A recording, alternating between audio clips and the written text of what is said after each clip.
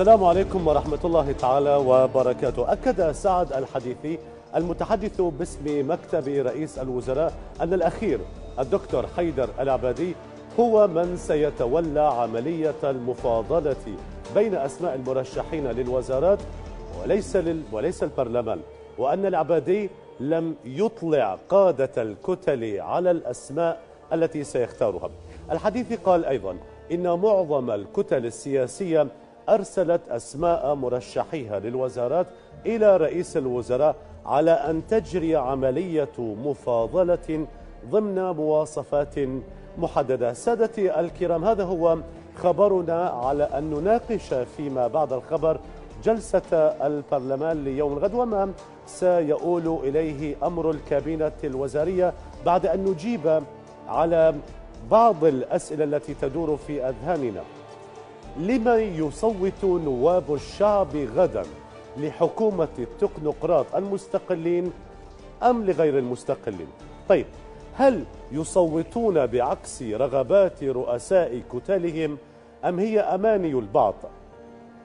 هل تحظى قائمة الظرف المغلق بالقبول أم إن أمر رفضها محسوم كما يروج منذ الساعات الأولى لتقديمها؟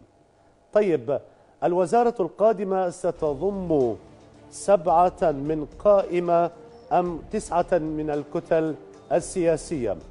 وبحضور العبادي وعلنا أمام الجميع أم سيبقى الأمر داخل الصالات المغلقة؟ ما هي المعايير التي اعتمدت في التقييم؟ وما هي الأولويات؟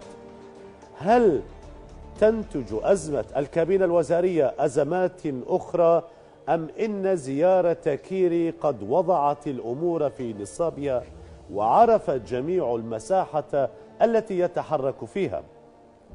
هل يبقى العبادي إلى ما بعد اجتماع الدول المانحة كما يريد الأمريكان؟ وماذا بعد اجتماع الدول المانحة؟ هل يبقى الحال على ما هو عليه؟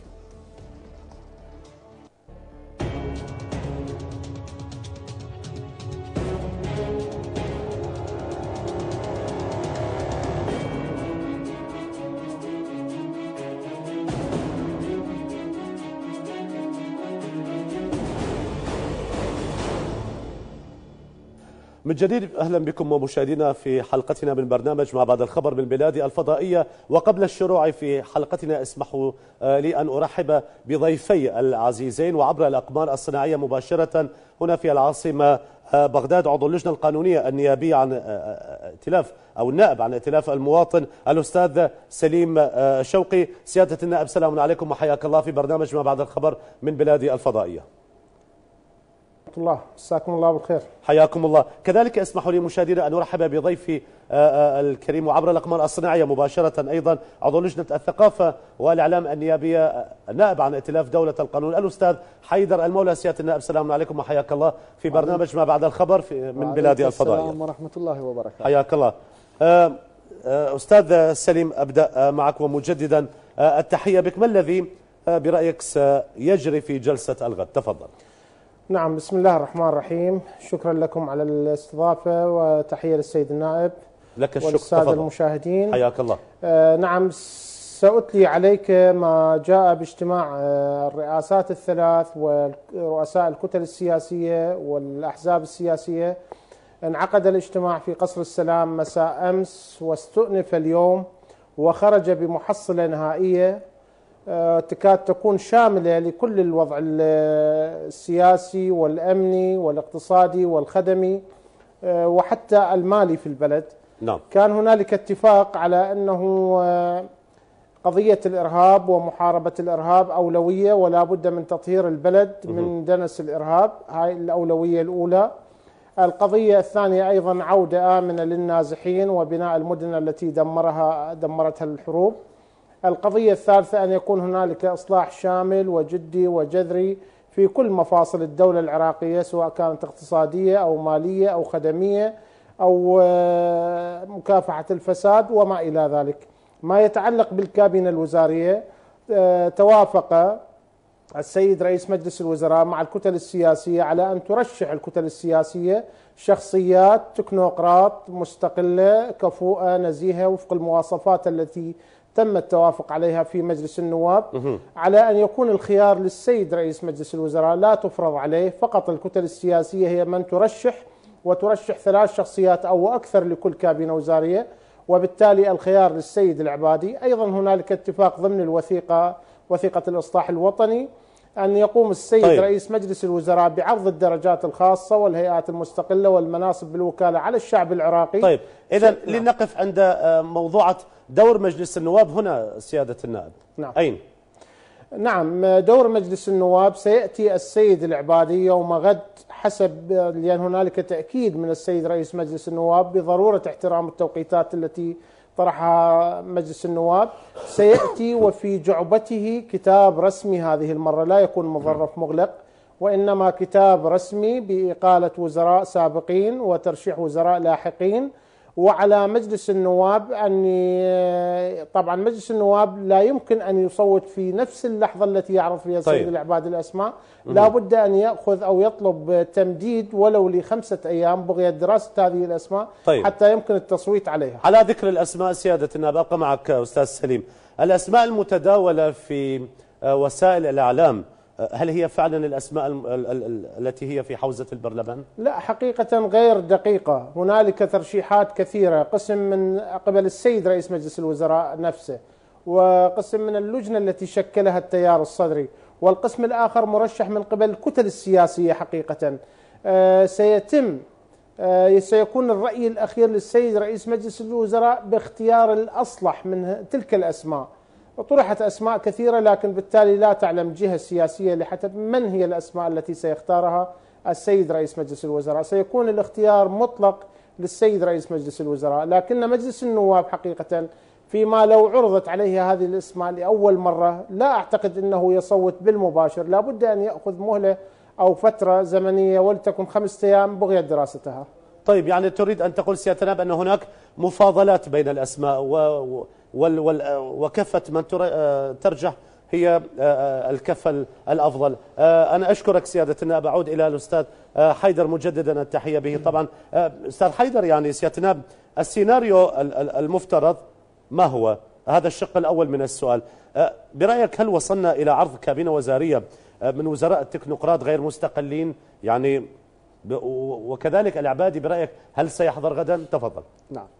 بسم الله الرحمن الرحيم. تحية لقناة بلادي ولكل مشاهديها ولضيفة الكريم الأستاذ سليم. لك الله التحية. آه، أولا إحنا آه، يعني خل أول شغلة آه، شنو القرار اللي راح يتخذه مجلس النواب حول الأسماء اللي قدمها السيد رئيس مجلس الوزراء اللي سماهم بالتكنوقراط اللي جاء جاء بهم قبل حوالي 11 يوم وسلمهم إلى مجلس النواب. مجلس النواب أخذ السيرة الذاتية خلال العطلة التي امتدت لسبعة أيام من أجل دراسة السيرة الذاتية للمرشحين ومن ثم يكون يوم الثلاثاء موعدا للتصويت. طيب. أعتقد أنه خلال هذه السبعة أيام ولأن العملية برمتها غير صحيحة وغير جدية جلس السادة قادة الكتل السياسية واتفقوا على أشياء تختلف تماما على ما تم عرضه في جلسة مجلس النواب الأخيرة وبالتالي لا قيمة لكل قائمة قدمت آه، من التكنوقراط إلى مجلس النواب. إذا كان القرار العراقي يختزل ب 12 كما أنا سميتها اليوم في بياني ب 12 شخصية لا قيمة لا لمجلس النواب ولا لكل قائمة تقدم. القرار محسوم إذن وانتهى الأمر.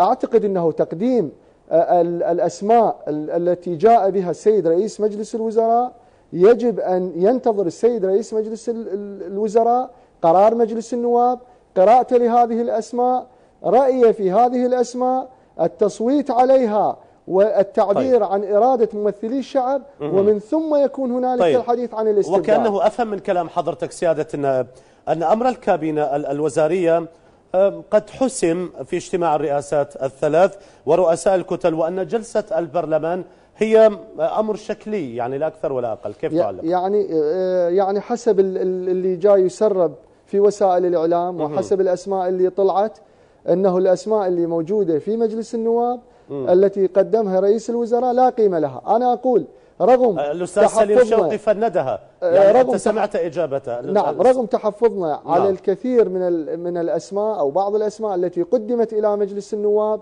التي قدمها السيد رئيس مجلس الوزراء بعضها يستحق وبعضها لا يستحق. لكن المسألة هي احترام إرادة مجلس النواب. لا يمكن أنه أنت تقدم لنا قائمة ونأتي يوم غد ونفاجئ بقائمة جديدة. باكر راح يجي رئيس الوزراء معه قائمة جديدة كما ذكر زميل أستاذ سليم. طيب. ما قيمة القائمة الموجودة لدينا والتي آه، آه، يعني معها سيفيات ومعها الكثير من المعلومات وأرسلنا كتب إلى النزاهة وأرسلنا كتب إلى المساءلة والعدالة. اذا العملية محسومة ولا قيمة لكل هذه العملية التي امتدت لأيام طويلة. طيب. آه، أبقى معك آه، أستاذ آه، أستاذ حيدر. ل- لنقل أن هل سوف ندخل برأيك في أزمة إذا ما لم يحسم الأمر غدا؟ يعني خصوصا خصوصا أنت قلت في معرض إجابتك في السؤال السابق أن هناك آه، عدم جدية. الآن لا أعرف عدم جدية من رئيس الوزراء أم من البرلمان. يعني هل آه، نشم رائحة أزمة تلوح في الأفق إذا لم يحسم الأمر غدا؟ لا بكل تأكيد مجلس النواب عازم على حسم هذا الأمر. ومجلس النواب كان موقفه واضح وصريح جدا. أنا أقول إذا كان إذا كانت آه، ال- الاجتماعات أو كانت السادة قادة الكتل السياسية قد انتهوا إلى وثيقة وانتهوا إلى أسماء وقدموا كل وزارة قدموا لها ثلاثة أسماء. إذا ما قيمة الجلسة يوم غد؟ نحن يوم غد لدينا موعد للتصويت على القائمة طيب. التي وضعت في الظرف. المغلق ونصوت عليها. جميل. إذن- هذا ما إذن- أردت أن أسأل. البرلمان غدا. دوره مهم جدا. على ما سيصوت برأيك البرلمان نحن غدا س- سنحترم يوم غد سنحترم قرارنا. وسنناقش الأسماء ال- التي قدمها السيد رئيس مجلس الوزراء في الجلسة الماضية. وعندئذ بعد تصويتنا سواء قبلنا الأسماء أو رفضناها بعد ذلك سيكون هنالك حديث آخر عن تقديم قائمة جديدة. ويجب أن طيب. تكون هذه القائمة الجديدة بحسب ما صوتنا عليه أن تكون من التكنوقراط المستقل. وإذا آه، يعني آه، العملية هي عملية آه، محاصصة وعملية آه، تقسيم مناصب إذا يعني كل العملية برأيي هي عملية كانت صورية وغير حقيقية. جميل جدا. شكرا أستاذ حيدر. أستاذ سليم نفس السؤال. غدا آه، دور البرلمان ما هو؟ يعني على ما سيصوت على ما سيصوت مجلس النواب آه، غدا. على قائمة الدكتور العبادي أم على أم على أي أي قائمة برأيك؟ تفضل. نعم أستاذ الجواب واضح يعني. إحنا الكابينة التي قدمها السيد العبادي في ظرف مغلق لم يكن فيها كتاب رسمي موجه إلى مجلس النواب. وإنما كانت للاستئناس برأيي لأنها حقيقة قال رئيس مجلس النواب لكم أن تقبلوها ولكم أن ترفضوها وأنا مستعد للتفاوض في تعديلها ولم يكن هنالك رس كتاب رسمي يعتمده مجلس النواب. عندما يأتي غدا السيد العبادي وفي يده كتاب رسمي يذكر فيه آه، طلب إقالة الوزراء الحاليين واستيزار الوزراء آه، الجدد الذين جاء بهم وفق كتاب رسمي. نحن نتعامل مع الكتاب الرسمي. إذا كان هنالك كتاب رسمي من السيد العبادي باعتماد الكابينة الجديدة التي سيأتي بها وأعتقد أنها سوف تكون مزيج من القوائم طيب. التي ذكرتها طيب ماذا لكن عن- ال- العدد الأكبر راح يكون نعم. لل للأسماء التي رشحتها الكتل السياسية طيب ماذا عن الأيام العشر التي آه، أعطيتموها للدكتور حيدر العبادي نعم الأيام العشر نحن صوتنا في مجلس النواب على مفهوم وعلى مبدأ وهو أن يكون هنالك إصلاح شامل في الكابينة الوزارية لا أن يكون جزئي. هذا أول آه، ما صوتنا عليه. الأمر الآخر على أنه المرشحين يجب أن يكونوا من التكنوقراط المستقلين ذوي الكفاءة والخبرة والمهنية وما إلى ذلك. نحن صوتنا على مبدأ لم نصوت على أسماء. طيب يعني سيادة النائب الجميع يعني بعد عشرة أيام الكل يعرف أنكم سوف تصوتون على آه، القائمة. هل هذا صحيح؟ نعم نحن ذكرنا على أنه آه، خلال عشرة أيام يأتي السيد العبادي بكتاب رسمي لاعتماد الكابينة من عدمها. فالسيد العبادي قال أنا أحترم توقيتات مجلس النواب وسوف أحضر يوم الثلاثاء وفي يدي كتاب رسمي لطرح الكابينة بعد إجراء التعديل عليها لأنه ذكر خلال الجلسة الماضية أو عندما جاء إلى مجلس النواب قال هذه القائمة قابلة إلى الرفض أو القبول أو التفاوض أو التعديل بمعنى أنه سيأتي بقضية شبه يعني نهائية بكتاب رسمي لاعتماد الكابينة التي ستكون بحوزته والتي أعتقدها هي بالتالي ستكون مزيج لكن العدد الأكبر سيكون من الأسماء التي قدمتها الكتل السياسية بالإضافة إلى أسماء اللجنة التيار الصدري وكذلك الأسماء التي طرحها السيد العبادي. طيب. لكن الأكثرية من الأسماء ستكون طبعا المرشحة من قبل الكتل السياسية. طيب. أبقى معك وله حق الاختيار طبعا نعم. أستاذ. لا تفرض على السيد العبادي. مه. السيد العبادي له حق الاختيار أن يقبلها أو يرفضها. طيب. أه بحسب معلوماتك العدد أه للوزراء 17 أم 22 وزير؟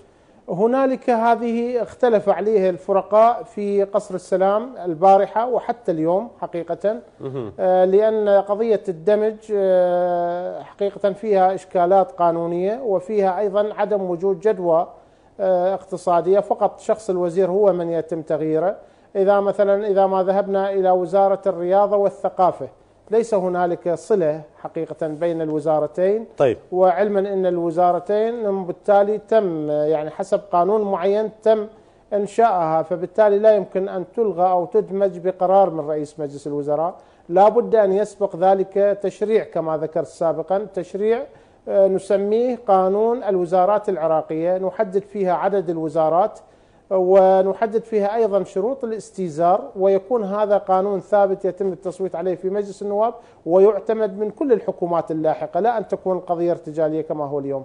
طيب أنا أشكرك أستاذ سليم. بالانتقال إلى ضيف العزيز سيادتنا بالأستاذ حيدر. أستاذ حيدر نعم. يعني يقال أن الدكتور العبادي عرض سبعة وزراء وأن الكتل عرضت تسع طيب وأن هذا ما اتفق آه، عليه وقد حظي برضا الكتل السياسية. تعليقك. آه، اولا أنا أعود إلى سؤالك اللي وجهته للاستاذ سليم. أنت ذكرت أنه أو أو الأستاذ سليم ذكر قال السيد العبادي عندما جاء بالقائمة قال لكم أن تقبلوها ولكم أن ترفضوها ولكم أن تعدلوا عليها. كمجلس نواب كونكم جهة تشريعية سيادة النائب. أحسنت. إذا كان كل هذه الخيارات لنا لماذا لا يتركنا نفصح عن رأينا؟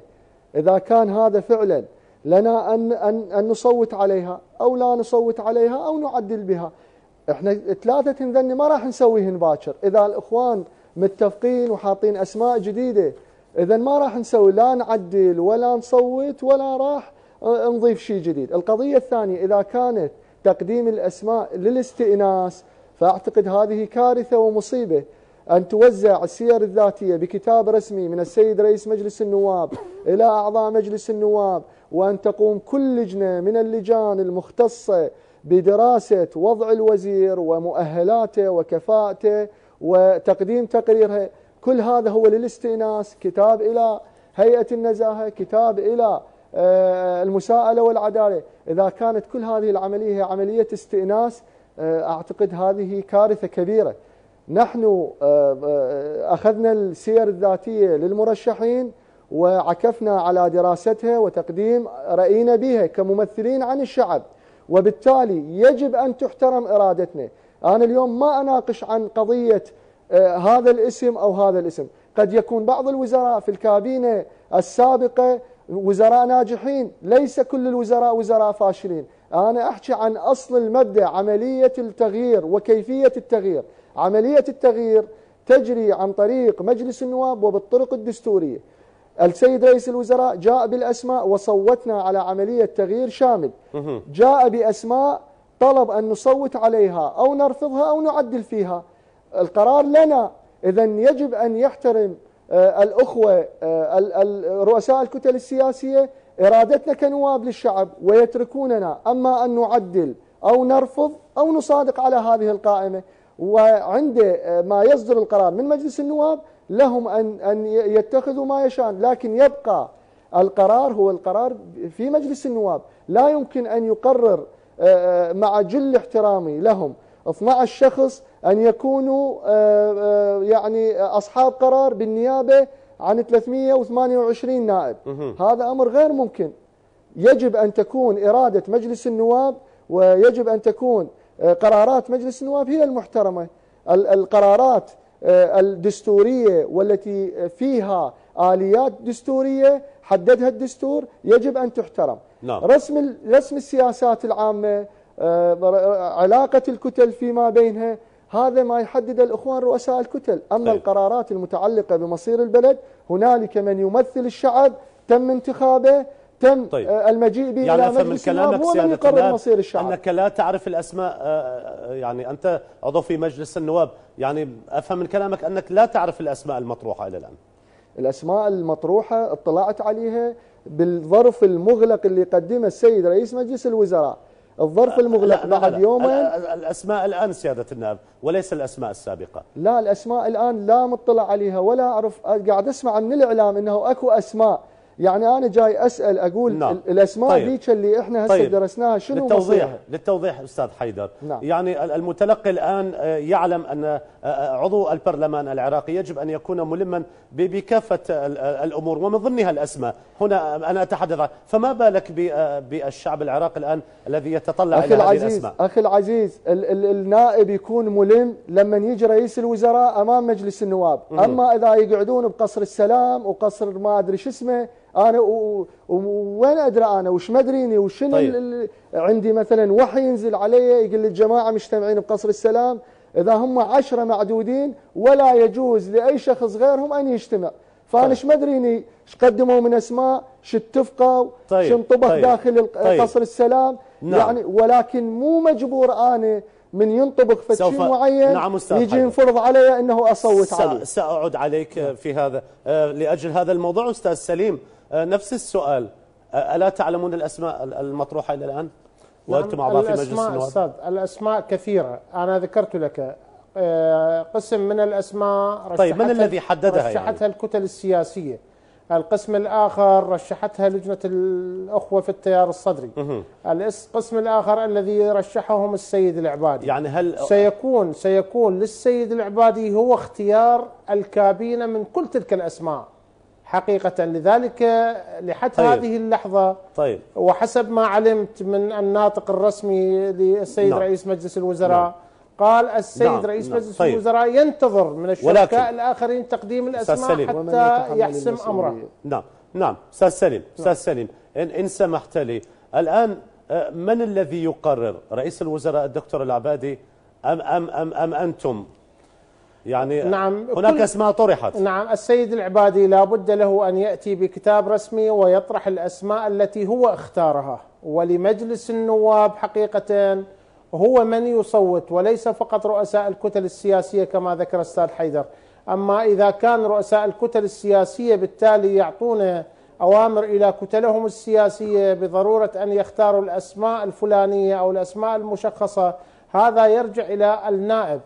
النائب طبعا له خيارات عديدة أولا إما أن يراعي ضميره ويراعي ربه وبالتالي يختار الشخص الذي يعتقد هو كفو أو يترك أو إذا لم تكن لديه هذه الرؤية طيب. طبعا سوف يتبع رأي رئيس الكتلة طيب أنتقل إلى ضيف العزيز سيادة النائب الأستاذ حيدر إذا ما تحدثنا عن الأولويات نعم. آه، برأيك ما هي الأولويات الواجب على مجلس النواب اتخاذها غدا؟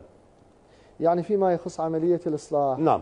عملية الإصلاح آه، يعني مفردة آه، التغيير الوزاري مفردة بسيطة أمام عملية الإصلاح الجذري الذي ننشده. عملية الإصلاح لا يمكن اختزالها بعملية تغيير وزير. عملية الإصلاح تبدأ من آه، تبدأ من الهرم من الوزير نزولا إلى الوكلاء وإلى المستشارين وإلى المدراء العامين. وهذه عملية تحتاج إلى آه، يعني آه، مهنية عالية تحتاج إلى آه، دقة عالية. الآن إحنا بدأنا بعملية المفردة الأولى وهي الكابينة الوزارية. الكابينة الوزارية عندما أتحدث وأقول إرادتنا إحنا كنواب مو إرادة رؤساء الكتل. أنا أتحدث عن قضية آه، عن عن آلية. الآلية اللي تم التصويت عليها في مجلس النواب هي أن يكون الوزراء تكنوقراط مستقلين. هذا ما صوتنا عليه. ما صوتنا على تكنوقراط حزبي. صوتنا على تكنوقراط مستقل. زين إحنا شلون الآن من صوتنا على تكنوقراط مستقل نجي يجون رؤساء الكتل يتفقون على تكنوقراط سياسي؟ أنا أقول احترام قرارات مجلس النواب ضروري جدا. مجلس النواب اليوم هو يمثل أبناء الشعب. إذا مجلس النواب يصوت وقراره ما يحترم ومجلس النواب مطالب يوم غدا بأن يحترم قراره حتى آه، أمام الناس يكون شكله محترم. وإلا إذا إذا قرارات مجلس النواب اللي هو يشرحها وهو يقررها ويصوت عليها وما يحترمها فهذه كارثة كبيرة. أنا أتحدث عن إن الأولوية هي احترام قراراتنا التي صوتنا عليه. ومن ثم هنالك توقيتات زمنية، هنالك مدة 30 يوم، هذه ال 30 يوم يجب علينا أن ننهي فيها عملية إجراء التغيير الشامل الذي صوتنا عليه والذي آه، يتضمن الدرجات الخاصة الوكلاء المدراء العامون وإلى ما آه، نهاية من طيب. المناصب. التي كانت موزعة آه، بشكل تحاصصي بين جميع الكتل السياسية هذا ما يجب أن يكون. الأول هو احترام قراراتنا ومن ثم الالتزام بالتوقيتات طيب. الزمنية. وهذا ما أريد أن أطرحه على حضرتك سيادة النائب أستاذ حيدر. هناك إشكالية يعاني منها المتلقي والشارع العراقي بصورة عامة. السيد آه، رئيس الوزراء دكتور حيدر العبادي عندما أتى إلى إلى البرلمان آه، طلب من آه، مجلس النواب أن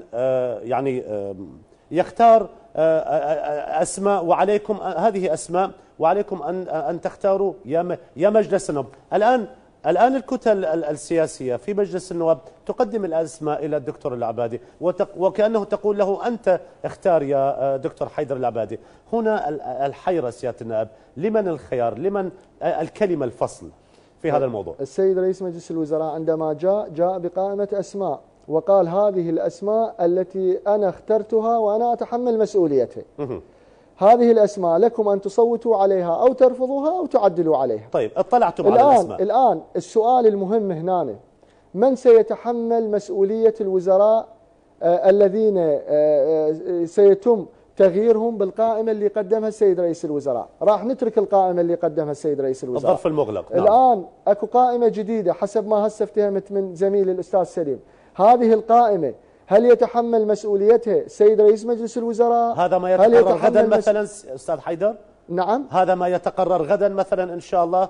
طبعا هذا الآن هو المطروح. مم. الآن المطروح أنه أكو قائمة غير هاي القائمة. هاي القائمة الجديدة السيد رئيس الوزراء عندما جاء إلى مجلس النواب قال هذه القائمة أنا اختاريتها وأنا أتحمل مسؤوليتها سؤالي الآن القائمة اللي راح تتقدم يوم غد اللي راح يستبعد بموجبها القائمة القديمة بالظرف المغلق.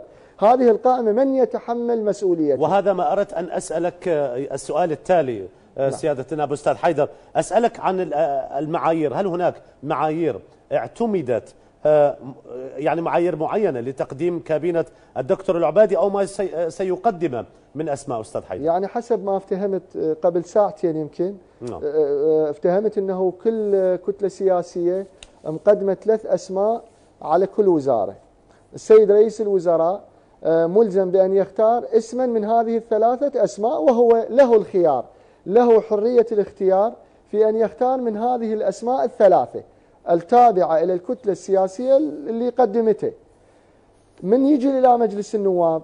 راح يجي يجيب قائمة يختار من بين هاي الثلاثة يختار اسم ويجيبه إلى مجلس النواب. وأعتقد هم راح يجيبه بظرف مغلق.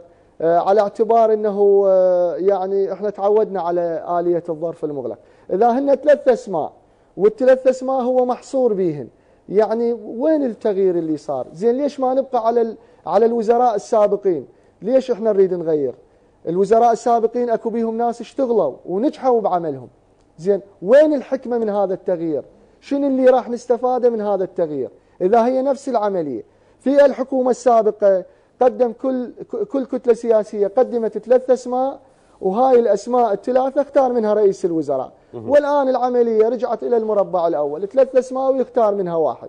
إحنا نريد ناس فعلا تكنوقراط ناس مستقلين من أجل أن يكون كل مجلس النواب عين على هؤلاء الوزراء. طيب. الآن راح نرجع إلى نفس الخلل السابق. كل واحد يدافع عن وزيره كل كتلة تدافع عن وزيرها كل رئيس كتلة يدافع عن وزيره وما صار أي إصلاح نهائي. ولا ولا يصبح أي تكنوقراط في في المسألة. أشكرك أستاذ حيدر. أنتقل إلى ضيف العزيز الأستاذ سليم سيادة النائب. آه، يعني لنتكلم الآن عن التحالف الكردستاني أستاذ سليم. هل قدم أسماء؟ يعني نسمع عن أن هناك خلافات بين الأحزاب الكردية أستاذ سليم. نعم بس أنا ملاحظة على زميلي وعزيزي أستاذ حيدر. آه، أستاذ حيدر آه، كلامه يعني مغاير تماما لكلام دولة القانون وتحديدا حزب الدعوة. حزب الدعوة عد الأمر بأنه مؤامرة على المشروع الإسلامي ومؤامرة على الكتل السياسية الإسلامية. لماذا يقولون لماذا يتساوى الصالح مع الطالح؟ لماذا آه، نحمل جريرة الفاشل جريرة الشخص الآخر الناجح. لماذا يكون فقط التكنوقراط من المستقل؟ الجهات السياسية لديها آه، جهات سياسية أو أشخاص عديدين. بالتالي ينتمون إلى جهات سياسية لديهم التكنوقراط والخبرة والكفاءة. لماذا يتم استبعادهم؟ آه، عدوا ذلك بمثابة هو تآمر على ال- المشروع الإسلامي والكتل الإس- الإسلامية وهي بالتالي صاحبة التاريخ والإرث الكبير في الدولة العراقية وفي التغيير الذي حدث. طبعا الكلام فيه الكثير من الصحة حقيقة وحتى إذا ما رجعنا إلى الكابينة السابقة هم بالتالي ينتمون إلى جهات سياسية. لكن كان يفترض أن تكون هنالك لجنة لتقييم الأداء وهذا ما اعتمده المجلس الأعلى في حينها. قال يجب أن تكون هنالك لجنة لتقييم الأداء. من كان ناجحا يبقى في نجاحه ومن كان فاشلا يتم استبداله حتى لا يتساوى هل يستوي الذين يعلمون والذين لا يعلمون؟ لكن هذا لم يحدث بضغط التظاهرات التي حدثت في الشارع والاعتصامات. كان هنالك إصرار على أن يتولى المناصب سواء كان في الكابينة أو في المناصب الهيئات المستقلة أو المناصب بالوكالة أو الدرجات الخاصة من التكنوقراط المستقلون. لذلك كان التصويت على ذلك. طيب. ما يتعلق بالأخوة في القائمة الكردستانية. قبل أن تجيبني أستاذ سليم قبل أن تجيبني على سوف أعود إليك فيما يخص موضوعة ال- الأحزاب الكردية ال- ال- المتخالفة مع مع مع بعضها. نعم. أستاذ حيدر أنت سمعت آه، إشكال آه، نعم. ضيفي العزيز الأستاذ. آه، كيف ترد على إشكال؟ اولا آه، أنا كنائب أمثل مجموعة من الناس. نعم. وأنا حر فيما أطرحه. آه، كل شيء يتفق مع آه، قسمي ومع ضميري أدلي به. هاي نقطة. طيب، النقطة طيب. الثانية أنا لا أقول إن لا آه، إنه آه، الإسلاميين لا يوجد فيهم آه، تكنوقراط. لا بالعكس. ولكن ما أقوله آه، أن لا نحصر ال- القضية آه، يعني آه، إلا حزبية آه، يعني حصرا. آه، هنالك من الإسلاميين التكنوقراط من هم جيدين ولكن لا نحصر المسألة آه، ب- بإطار حزبي ضيق. هاي نقطة. النقطة الثانية آه، إحنا ت- يعني آه، صوتنا وجاي نصرح بقضية الإصلاح. وهذا الإصلاح اللي قاعد نطلقه وهذه الشعارات اللي قاعد نطلقها هو أن يكون التكنوقراط مستقل. هذا ما أعني. يعني حتى أكون صادق مع نفسي وصادق مع آه، شعبي وصادق مع كل طيب. الناس آه، أن أحترم قراري. نعم، أستاذ إحنا. صوتنا على تكنوقراط مستقل. هذا اللي أنا أقصده. وضحت الفكرة. أنا أشكرك أستاذ حيدر. بالانتقال لك ضيف العزيز سيادة النائب أستاذ سليم لنرجع إلى صلب الموضوع فيما يتعلق بالأحزاب نعم فيما الكردية. يتعلق بالأحزاب الكردية. نعم. قالوا صراحة قدمت أسماء من بعض الأحزاب الكردية لكنها بالتالي رفضت لأن تعرف أنت في ال- المكون الكردي توجد خمس جهات أساسية. وهي كما تعلم الديمقراطي والاتحاد والتغيير والأحزاب الإسلامية هي خمس جهات. فخرجوا باجتماع كان لدى السيد رئيس الجمهورية وقالوا إذا الأسماء قدمت من جهة دون موافقة الجهات الأخرى سوف لن تعتمد. لذلك اليوم هم بالتالي حسموا خيارهم. قالوا نحن نمثل المكون الكردي ويجب أن يكون لنا تمثيل للمكون 20% آه، في الدرجات الوظيفية. آه، لذلك هم حسموا أمرهم وحسب علمي حتى قبل أن ندخل الاستوديو قد قدموا أسماء بالتوافق فيما بينهم إلى السيد العبادي. لكن آه، كما قلت السيد العبادي هو غير مجبر باعتماد الأسماء التي قدمت. هو له حق الاختيار. الكتل السياسية تقدم وفق المنهج والرؤية التي صوت عليها مجلس النواب وهو النواب وهو التكنوقراط والخبرة والكفاءة والنزاهة وما إلى ذلك وعلى السيد العبادي أن يختار من هذه الأسماء. فإذا لم تكن الأسماء الثلاث المقدمة بالتالي تنال آه اختيار السيد العبادي إما أن ترشح الكتل السياسية أسماء بدلاء للثلاث أو يختار السيد العبادي بالتالي من الأسماء التي توجد في معيته حقيقة. فبالتالي كان هنالك في الاجتماع على أنه السيد العبادي له حق الاختيار في الأسماء المطروحة. طيب آه يعني لنتحدث الآن عن آه، عن كتلة آه، الأحرار سيادتنا نعم. أستاذ سليم. الآن يعني بعض الوزراء قدموا استقالاتهم استقالاتهم الدكتور العبادي يعني هل يقدمون مرشحيهم؟ آه، حالهم حال بقية آه، الكتل أم ماذا؟ طيب ماذا عن الوزارات التي يشغلها وزراءهم لمن ستذهب؟ نعم هو بالتالي ليس هم فقط من قدموا الاستقالات الكثير من الكتل السياسية قدمت استقالات وزرائها بعد أن صوت مجلس النواب على ضرورة أن يكون البدلاء من التكنوقراط والذين لديهم المستقلون والذين لديهم الامتيازات التي ذكرتها. التيار الصدري باعتقادي هو كان لديه لجنة وهذه اللجنة اختارت أسماء والأسماء أيضا هي في معية السيد العبادي. وقد سمعت من السيد الناطق باسم السيد العبادي قال نعم. ممكن أن تعتمد لكن الأسماء لكن لا ينتمون إليهم ككتلة أستاذ سليم. نعم قال ممكن أن تعتمد بعض الأسماء التي قدمها الأخوة في الأحرار مه. لشغل المناصب التي بالتالي هي عائدة إلى كتلة الأحرار. آه، طبعا الأخوة في كتلة هي الأحرار ليست عائدة سيادة النائب أستاذ سليم. نعم. يعني الوزارات ليست عائدة إلى كتلة العرب فيما يتعلق بالمناصب أنا قلت المناصب التي أوكلت إلى الأخوة الأحرار مم. أقصد الوزارات التي أوكلت إلى الأخوة الأحرار نعم. بالتالي اللجنة التي شكلها التيار الصدري طيب. هي رشحت كابينة كاملة من ضمنها الأسماء أو الوزارات التي كانت عائدة لهم فالذي سمعته من السيد الناطق باسم رئيس مجلس الوزراء قال ممكن أن نعتمد الأسماء التي قدمت من التيار الصدري فيما يتعلق بالوزارات التي كانوا يشغلونها وقبل طيب. ساعات كان للتوضيح هنالك للتوضيح أستاذ سليم لكنهم لا يمثلون الأحرار ك كمنظومة سياسية هم يمثلون غير جهات هم بالتالي الإحرار لهم الخيار أه. لهم الخيار إما أن يعتمدوها الأسماء نفسها التي قدموها طيب. أو يختارون بدلاء عنها لكن قبل ساعة تقريبا قبل أن نأتي إلى الاستوديو كان هنالك بيان للأخوة الأحرار ذكروا فيه على أنه إذا لم تكن الكابينة الجديدة بعيدة عن المحاصصة السياسية بمعنى إذا كانوا هؤلاء الوزراء الذين قدمت أسماءهم للسيد العبادي لديهم لون حزبي أو لديهم ارتباط حزبي سوف يعلقون مشاركتهم في الحكومة. وإذا ما علقوا مشاركتهم في الحكومة سيسعون إلى سحب الثقة من السيد العبادي. هذا ما قالوه في قبل ساعة تقريبا في بيان لهم. آه، إذا الذي يريدونه هو الأخوة في الأحرار على أن تكون الأسماء التي رشحت سواء كانت من السيد العبادي أو من الكتل السياسية يجب أن لا يكون لها لون حزبي أو يكون لها ارتباط في جهة سياسية. يجب أن تكون مستقلة. طيب. آه، أنا أشكرك أستاذ سليم. من الانتقال إلى ضيف العزيز آه، أستاذ حيدر سيادة النائب نعم. أسألك عن المطالب ال ال ال الشعبية. برأيك ألا تخشون عودة الاعتصامات؟ بكل تأكيد هذه آه، المطالب هي ليست جديدة. ولم تأتي هذه المطالب فقط لأن يعني فقط خلال الاعتصامات. وإنما هذه المطالب قديمة جدا. والناس تطالب منذ سنوات بضرورة آه، أن تنتهي المحاصصة بالبلد أن تنتهي عملية تقسيم آه، المناصب في البلد. آه، بكل تأكيد نحن جزء من هذا الشارع نحن جزء من هذا الشعب. جئنا بإرادة هذا الشعب وبالتالي يجب أن نحترم إرادة هذا الشعب.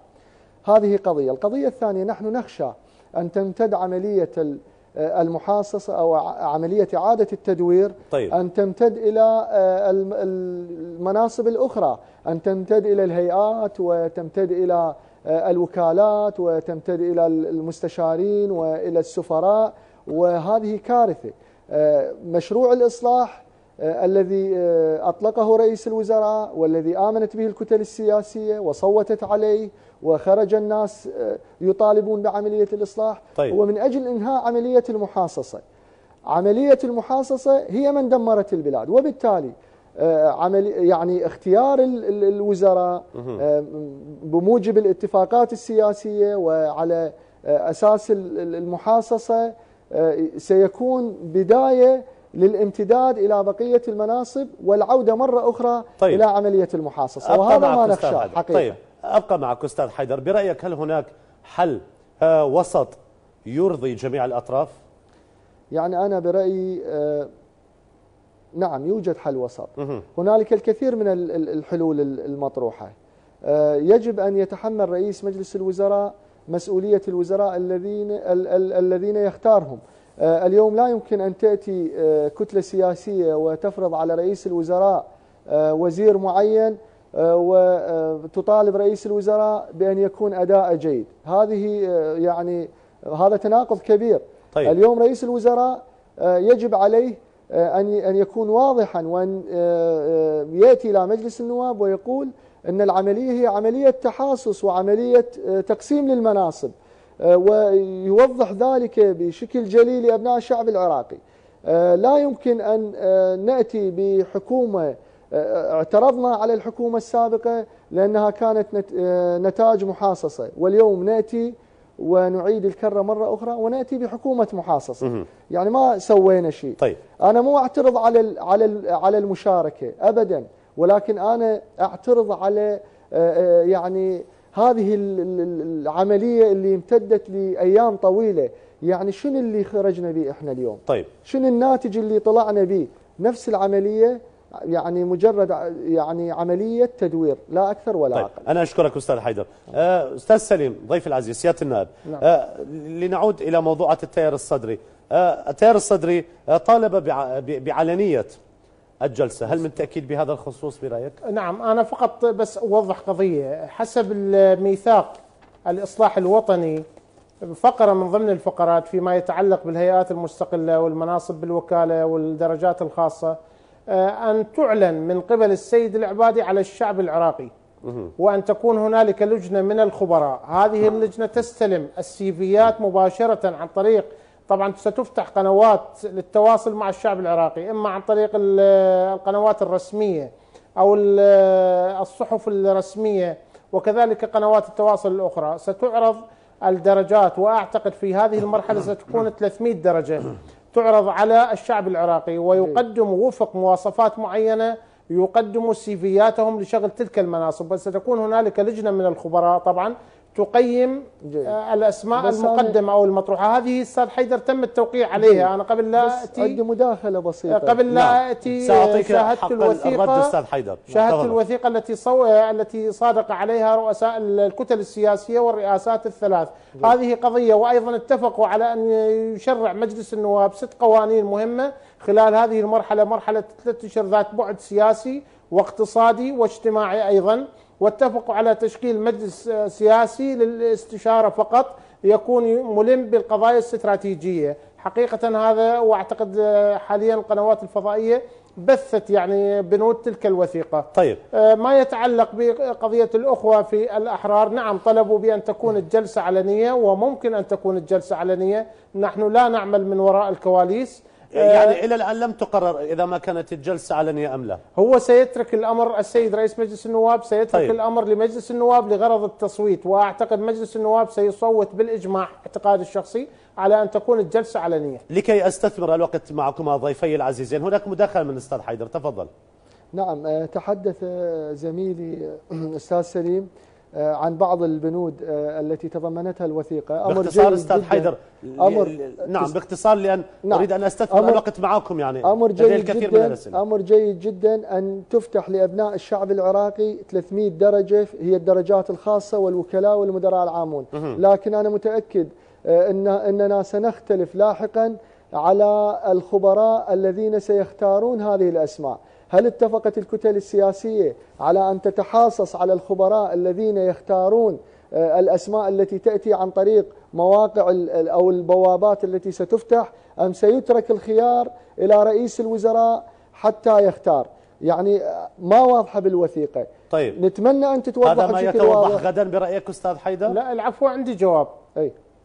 تفضل أستاذ سليم. نعم. اتفق تفضل. اتفق الفرقاء على أن يكون أربعة من الخبراء من التحالف الوطني، اثنين من دولة القانون، وواحد من الأخوة في الأحرار، وواحد من الوطني ال- ال- كتلة المواطن، واثنين من اتحاد القوى يرشحهم، واثنين من آه، واحد من الوطنية، واثنين من القائمة الكردستانية، ويكون أيضا اثنين يرشحهم السيد العبادي، على أن يكون المرشحين هم من الخبراء ويكون قرارهم بأغلبية معينة آه، على الترشيحات التي ستأتي لهم من قبل الشعب العراقي، بمعنى كل الطيف العراقي يشترك في تقييم من يقدم طيب. على المنصب المعين.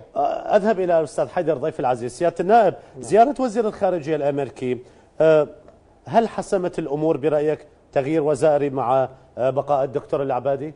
يعني لا زيارة وزير الخارجية الأمريكي لا علاقة لها بال- بالشأن المتعلق بعملية التغيير الوزاري. نعم آه، أعتقد كان لزيارته تأثير في عملية آه، التقارب وهذه الاجتماعات ال- التي حصلت لكن آه، هو مجرد تقريب لوجهات النظر. لكن عملية الاختيار وعملية التصويت وعملي وإلى غيره من الأمور هذه هذا شأن آه، داخلي. أعتقد كان حسب ما أعلن هو أنه زيارته تتعلق بدعم العراق في حربه على ال- الإرهاب. وكان جانب آه، من عندها هو تقريب وجهات النظر آه، بين الفرقاء السياسيين قادة الكتل السياسية. آه، يعني بشكل بإطارها العام وليس بخصوصياتها طيب شكرا أستاذ حيدر. أستاذ سليم يقال أن واشنطن أبلغت الكتل السياسية بضرورة الإبقاء على الدكتور العبادي كرئيس وزراء إلى ما بعد. انعقاد مؤتمر المانحين. تعليقك.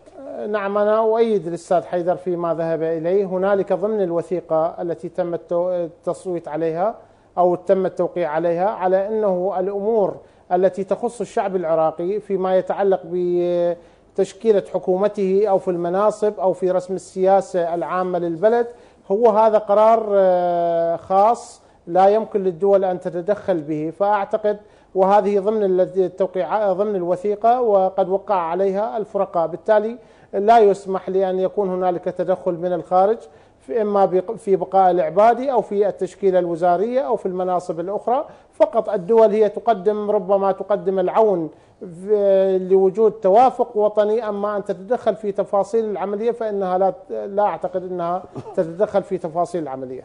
طيب أستاذ حيدر بالعودة إليك ضيف العزيز. آه، كيري قال وهو وزير خارجيه الملك إن مسألة التغيير الوزاري هي أمر عراقي آه، داخلي وأن الولايات المتحدة لا تتدخل في هذا الشأن.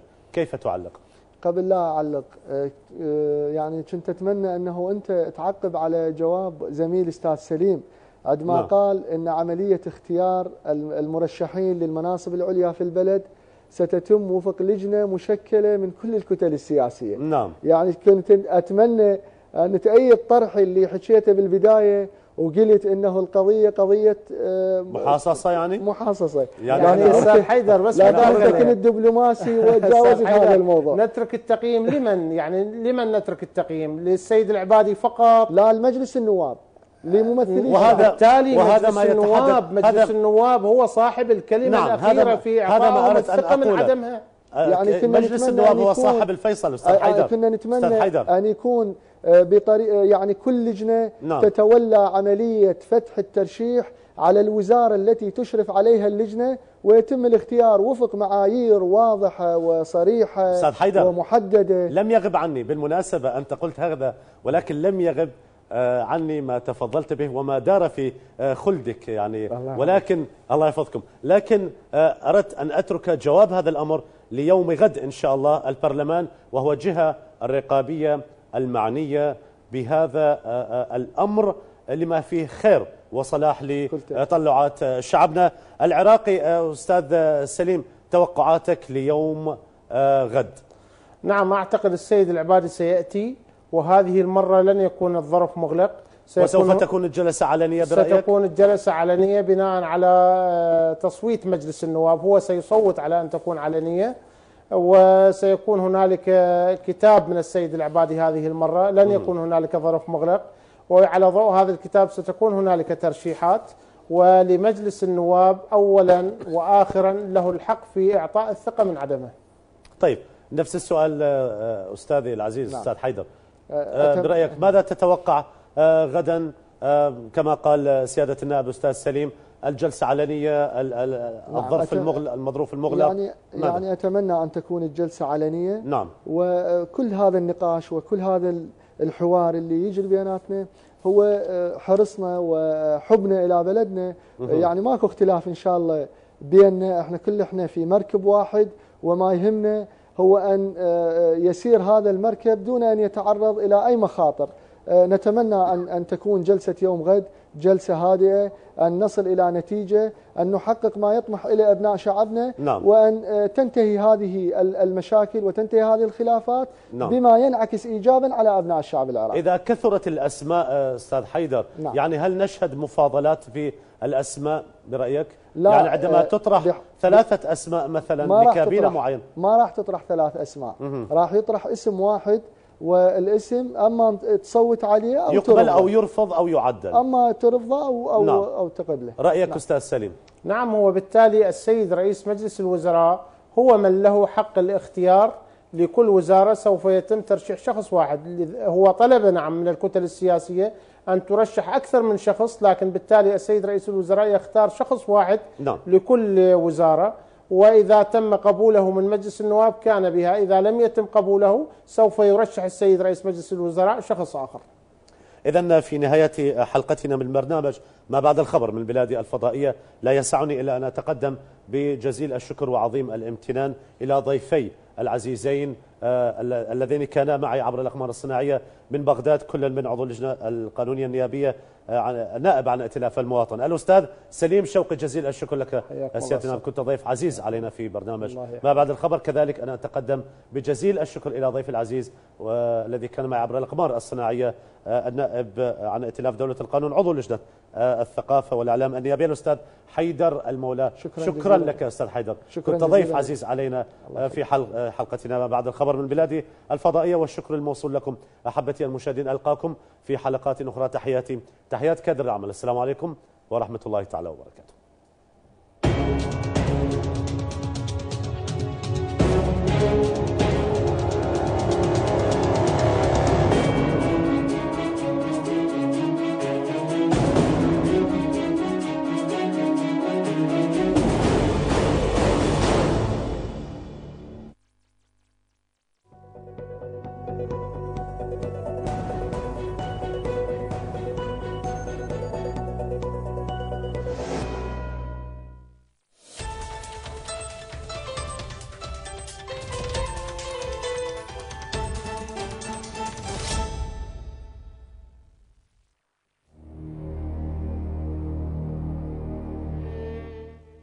إعلان.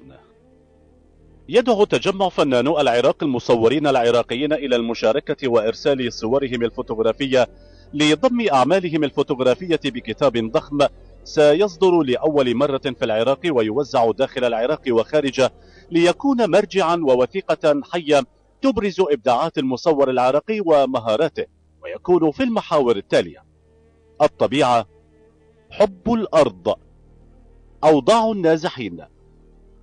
الحياة اليومية. انتصارات القوات الأمنية وأبناء الحشد الشعبي. المعالم الأثرية والمراقد المقدسة في العراق. شروط المشاركة. لن تقبل الصور المؤطرة التي تتضمن نصوصا ورموزا كتوقيع المصور أو غيره.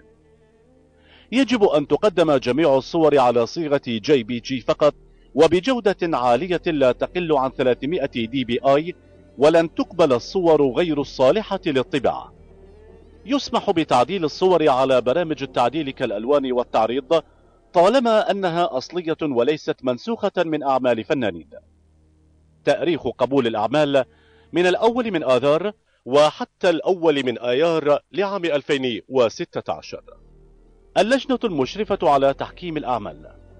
من العراق الدكتور عبد الخالق شاكر. من الإمارات الأستاذ مرشد المهيري من السعودية الأستاذ ناصر سعيد الربيعي. من إيران الأستاذ